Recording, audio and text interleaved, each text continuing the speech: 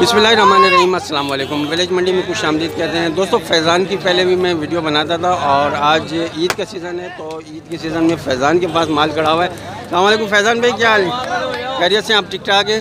अच्छा फैज़ान भाई क्या डिमांड की है इसकी? पैंसठ हज़ार। दांतों में क्या है? दांतों में कह रहे दो है। ठीक है बछड़ा है और दांतों में दो। वज़न कितना होगा फैज़ान इसका? सौ किलो। यानी ढाई का बच्चा रहा है। माशाल्लाह। ठीक है। जानवर मैं इनके दिखा देता हूँ और पहले भी मैं वीडियो बना चुका हूँ इसके। तो पहले भी इसकी वीडियो आते रही हैं। तो मुझे बताइए फैज़ान मंडी की ओवरऑल सिचुएशन क्या है?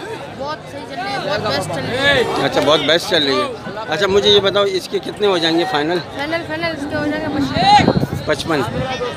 चलो पचपन हज़ार रुपये का इसके पास जानवर मौजूद हैं तो नंबर ले लेता हूँ मैं इससे। और फैज़ान आपके पास कुर्बानी के और भी माल हैं? बड़ा बछड़ा है। कितने मन का है? साढ़े तीन मन। उसके कितने मांग रहे हो? अच्छा काफ़ी बड़ा है। अच्छा फैज़ान नंबर अपना बता दो। ज़ीरो तीन सौ पैंतीस। पैंतीस पैंतीस। अड़तीस one seven nine one seven nine ठीक है? तो फैज़ान इसी मंडी में होते हैं तो इसके पास कुर्बानी के माल भी होते हैं और बाकी जो जानवर है कट्टू वगैरह के हिसाब से वो भी इनके पास होते हैं। अच्छा माल आपका ये खड़ा हुआ है? ये खड़ा हुआ है। अच्छा माशाल्लाह। क्या डिमांड की है इसकी? एक चालीस।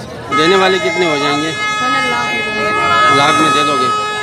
चलो एक लाख में कह रहे मैं दे दूँगा। और कोई नब्बे वगैरह मांगे तो दे दोगे? नहीं। हैं? नब्बे में नहीं होगा। पूरा लाख में भाई। ठीक है? कितना साढ़े तीन मन है वज़न? अच्छा नहीं तो साढ़े तीन मन से ज़्यादा है वज़न। ठीक है ये भी फैज़ान के पास खड़ा हुआ है तो फैज़ान से रब्ता कर सकते हैं। तो इन नेक्स्ट वीडियो में आप दोस्तों के साथ मुलाकात होगी। नेक्स्ट वीडियो तक के लिए अल्लाह हाफिज़।